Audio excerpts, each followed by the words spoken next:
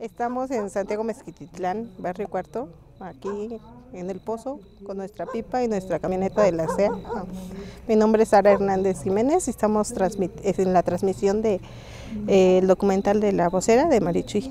El evento de hoy es para este, ver lo del documental y pues también este, visualizar eh, el despojo del agua que tenemos aquí en el pozo. Ya es la segunda vez que lo veo, yo lo vi en Morelos, este, nos llegó una invitación, fuimos, este, es la segunda vez que lo veo.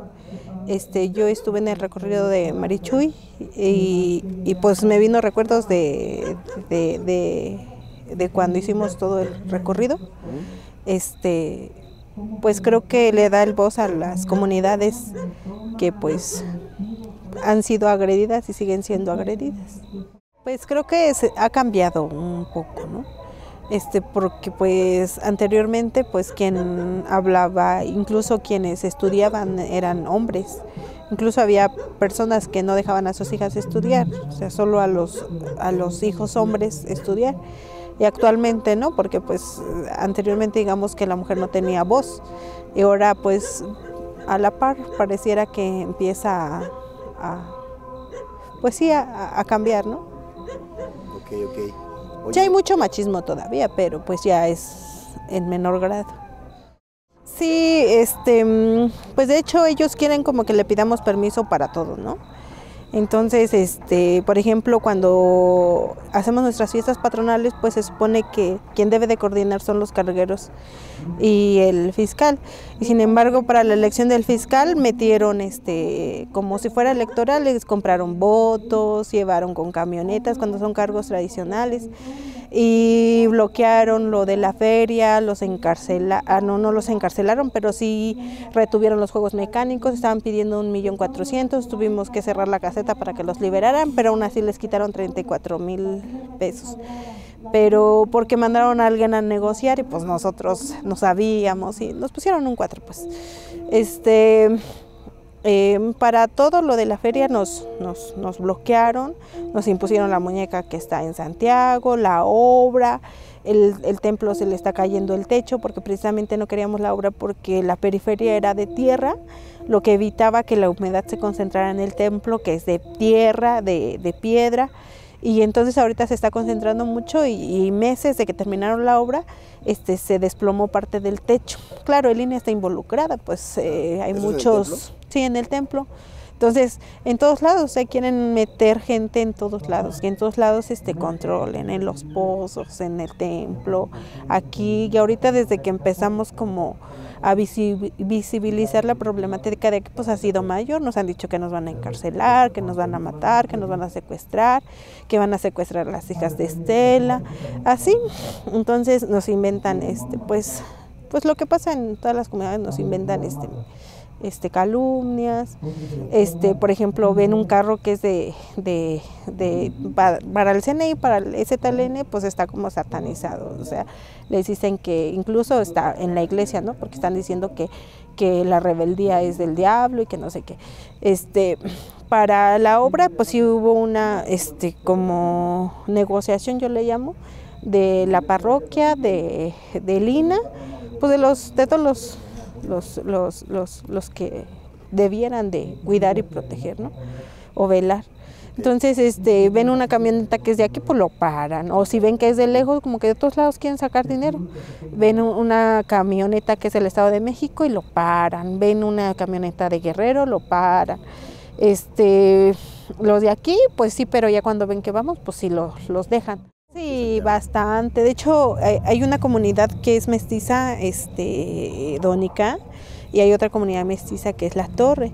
Entonces, como que han infundido esa, esa, ese odio a la comunidad y, porque pues igual y son, son como comunidades hermanas, ¿no?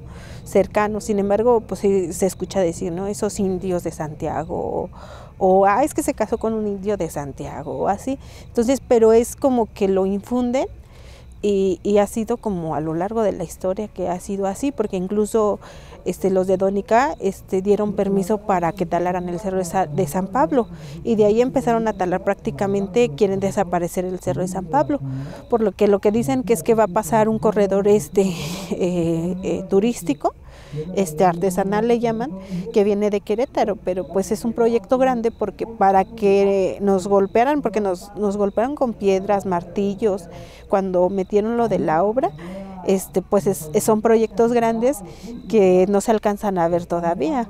Y entonces se viene arrasando como un monstruo de, de constructoras.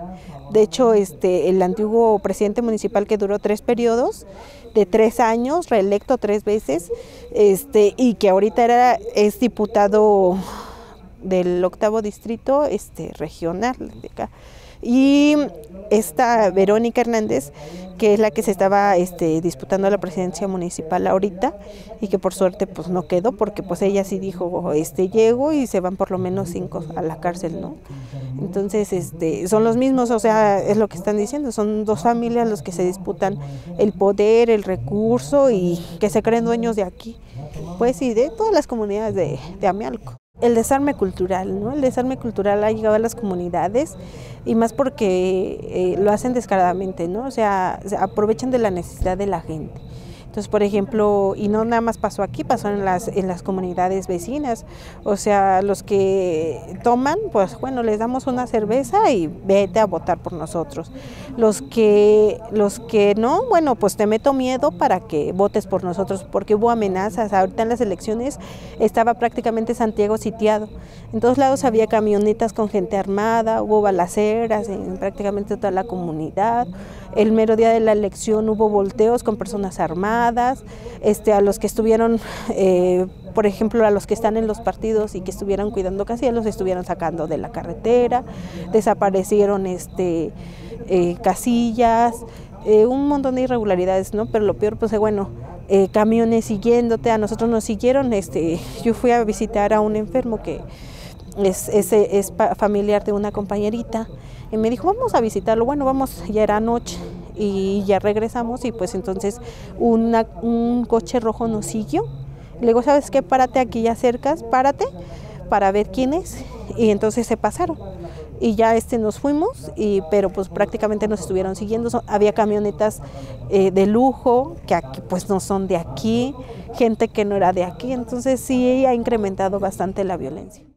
Pues nosotros de hecho, no sé si lo alcanzaron a percibir, pero estamos intentando como este, tejer redes aquí en lo local y pues eh, que sean otros también los que, los que digan cómo ven desde afuera, ¿no? Porque a veces eh, se hace cotidiano y a lo mejor la gente no lo alcanza a percibir si no es que se lo dice alguien de fuera. Entonces dicen, ya si se lo dice, decimos nosotros, otro de fuera, otro de fuera y otro de fuera, pues, pues a lo mejor pues se reviva la conciencia, ¿no? Pues agradecer que nos hayan tomado en cuenta, que estén aquí, este, sí, eh, cuando se hacen estos eventos, pues siempre nos sentimos contentos porque nos sentimos acompañados de más personas, ¿no?